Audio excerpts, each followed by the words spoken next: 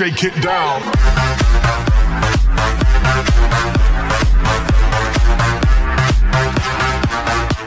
Moin Jungs, da bin ich wieder, euer Zeddy und ich habe ein neues Video für euch am Start und zwar wie ihr den Canis Mesa, wie ihr den im Hintergrund seht, komplett blank bekommt, ohne die ganzen Anbauteilen. Das ist super einfach, das Ganze, das schafft auch wirklich jeder von euch. Leider funktioniert es nur auf dem PC, aber sobald ich eine Möglichkeit finde, wie man das auch auf der Konsole machen kann, dann zeige ich euch das auf jeden Fall auch auf meinem Kanal. Und alles, was ihr dazu machen müsst, ist erstmal euren Task Manager zu öffnen, bevor ihr GTA 5 startet.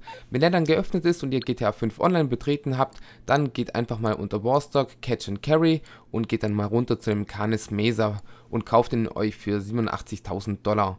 Wenn ihr den dann gekauft habt, kommt ihr natürlich in das Auswahlmenü von euren Garagen und dort ist es ganz wichtig, in dem Moment, wo ihr X drückt, müsst ihr über Alt und Tabular ganz schnell zurück in, auf euren Desktop und dort dann über den Task Manager GTA 5 einfach schließen.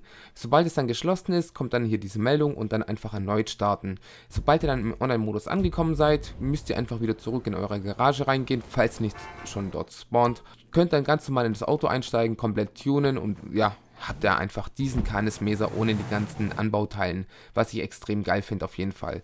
So, das war's auf jeden Fall mit dem Video. Ich hoffe natürlich, dass es euch gefallen hat. Wenn es so ist, würde ich mich natürlich tierisch über, ja, 12 Likes freuen. Wenn ich die heute bekomme, bin ich glücklichste Mensch auf der ganzen Welt. Ich bin an der Stelle raus. Jungs, ich wünsche euch noch einen schönen Tag und ein schönes Wochenende. Wir sehen uns beim nächsten Video. Haut rein, macht's gut. Ciao, euer Zeddy.